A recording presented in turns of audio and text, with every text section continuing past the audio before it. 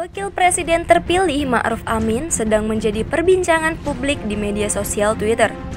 Warganet kembali mengulas sikap Ma'ruf mengenai rekomendasi Nahdlatul Ulama yang ingin menghapuskan kata kafir untuk non-muslim di Indonesia. Sebagaimana diketahui, beberapa bulan lalu, Bahsul Masail Maudu'iyah NU memutuskan untuk tidak menggunakan kata kafir bagi non-muslim di Indonesia. Kata kafir dinilai dapat menyakiti sebagian kelompok non-muslim karena dianggap mengandung unsur kekerasan teologis. Kiai Haji Ma'ruf Amin pun sepakat akan keputusan tersebut. Ketua MUI non-aktif ini berpendapat penghapusan kata kafir itu untuk menjaga keutuhan bangsa dan negara. Supaya kita menjaga keutuhan sehingga tidak menggunakan kata-kata yang mendiskriminasi kelompok tertentu. Jadi istilah yang bisa menimbulkan ketidaknyamanan harus dihindari. Ma'ruf Amin, Wakil Presiden terpilih.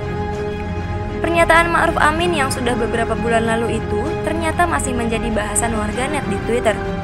Sebagian menilai jika menghilangkan kata kafir, maka sama saja menghilangkan ayat-ayat yang ada di Al-Quran. Berikut komentarnya.